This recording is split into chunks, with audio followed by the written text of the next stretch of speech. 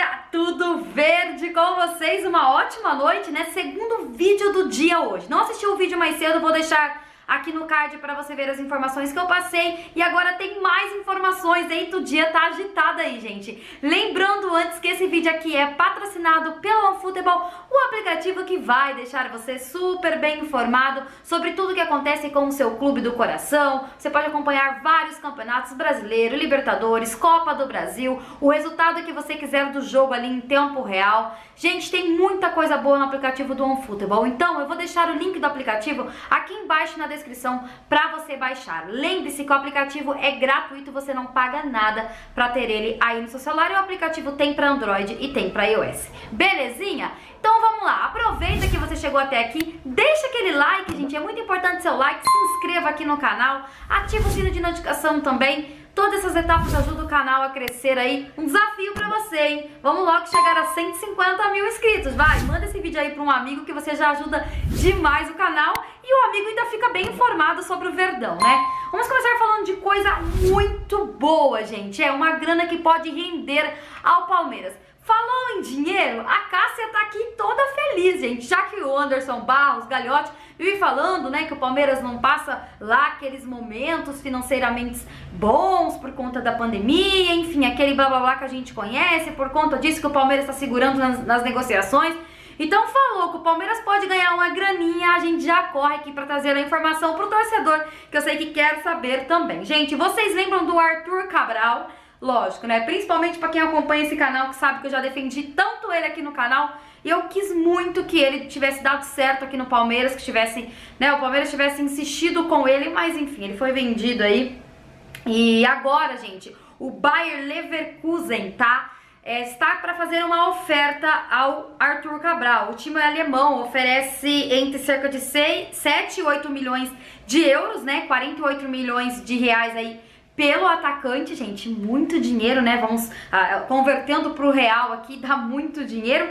E o Palmeiras vai levar uma fatiazinha disso aí, sabe por quê, gente? O Palmeiras tem direito de 30% do lucro é, do Arthur, ou seja, a diferença é que o Basel pagou 4 milhões de euros, e, ou seja, o Palmeiras é, garantia aí cerca de 1 milhão de euros, cerca de 6 milhões de reais. 6 milhões de reais vamos botar na ponta do lápis aqui, somar seis meses de pagamento ao Lucas Lima. Pronto! É engraçado, toda vez que eu falo de dinheiro, dinheirinho entrando, eu já lembro, né? Já dá pra pagar mais seis meses do encosto Lucas Lima aqui no Palmeiras. Então, uma notícia boa atualizando vocês aí. Vamos torcer pra que ele seja vendido, né? Pra gerar essa graninha aí ao Palmeiras. Agora, treta. Antes da gente falar aqui que o Barros falou.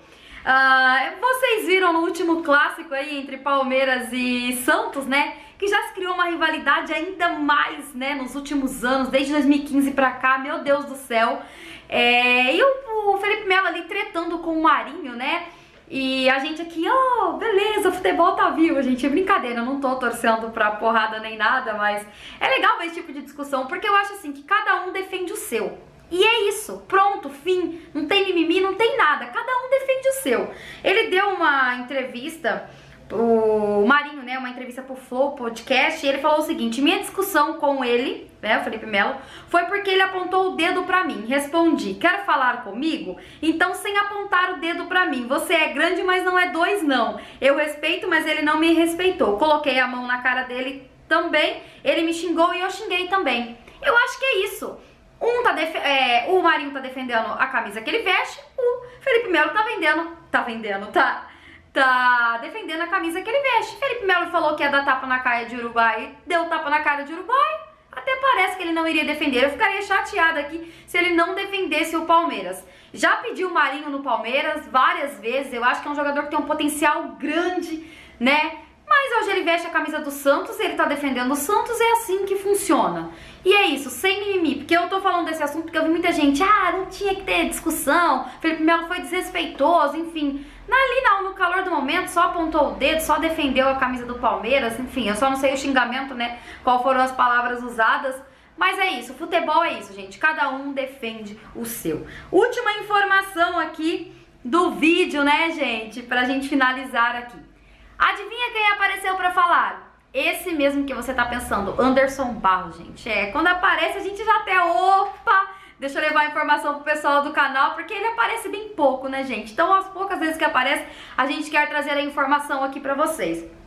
Gente, o Barro, o Barros deu uma entrevista à 105 FM, tá? Ele falou o seguinte sobre o Borra. Pra quem assistiu o vídeo mais cedo hoje, o que, que eu falei pra vocês? Eu falei assim, ó, gente, o Borra é, falou que ele tá focado no Palmeiras e tal, mas eu tenho a informação de pessoas ligadas ao Palmeiras que o Palmeiras vai negociar o Borra, não tem o porquê ficar com o Borra, não quer ficar com o Borra. O Borra volta, mas vai ser negociado.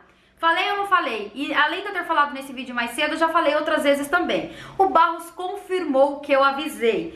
Tentamos e continuamos a tentar a negociação do Borra. Ele volta, participa normalmente das atividades até, nos, até nós podermos definir essa situação. Caso contrário, caso não consiga definir, continuará trabalhando e terá que mostrar o seu valor. Hoje a prioridade é negociar ele, Borra, já deixamos bem claro para o seu representante e para o atleta. Então, assim, vai abrir a janela. Inclusive, ele não pode ser relacionado, nem pode jogar, porque ele só pode ser inscrito novamente a partir de agosto, né? A partir da próxima semana. É, próxima semana já é agosto. Então, por enquanto, ele não pode você. Ah, ele pode jogar contra o São Paulo? Não, não pode, gente, não pode. Aí depois o Palmeiras pode relacionar ele, mas a ideia aqui é realmente negociar o cara, gente. Então, né, que seja feita a vontade aí do nosso diretor de futebol. A torcida, quando se fala do Borra, fica dividida, porque eu vi muito hoje no comentário isso.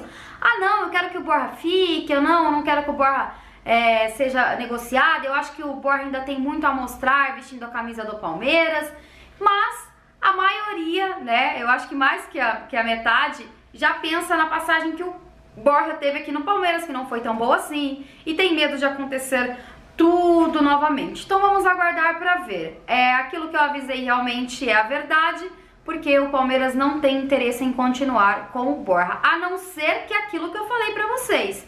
Tem Luiz Adriano na parada, né? Será que Luiz Adriano vai ser negociado, vendido, emprestado? O que vai acontecer com Luiz Adriano, que ainda não deu as caras, está em recuperação aí né? E a gente tem uma incerteza por conta dos últimos jogos, portanto, por, por conta de especulações que aconteceram aí nos últimos nas últimas semanas, aquele videozinho que rolou. Então a gente ainda tem essa desconfiança se o Luiz Adriano fica ou não. E eu acho que isso, isso vai depender muito é, da permanência ou não do Borja, né? E também do que o Abel vai querer. Será que o Abel quer o Borja aqui no Palmeiras? Será que o Abel consegue fazer o Borja jogar bola, gente? Será que o Abel virou mágico? Eu acho que sim, porque ele virou mágico com o Daverson por enquanto. Quem sabe ele faça uma mágica também com o Borja.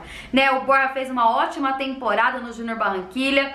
É, vai ter gente que vai me cornetar por causa disso. É, você não gosta do Borja. É que eu, eu consigo, é, infelizmente, as, as lembranças que eu tenho dele é do, de quando ele jogava aqui no Palmeiras, né? Mal conseguia dominar uma bola, perdia gols, pelo amor de Deus. Mas enfim, pode mudar o Davidson, parafuso solto, mudou? Por que não? Vamos aguardar para ver. Qualquer decisão, estamos aí para torcer pelo Palmeiras. Avante palestra, gente. Muito obrigada por ter me assistido até aqui. Envie esse vídeo aí para um amigo. Tamo junto. Até mais. Falei avante palestra antes. Vamos de novo. Avante palestra.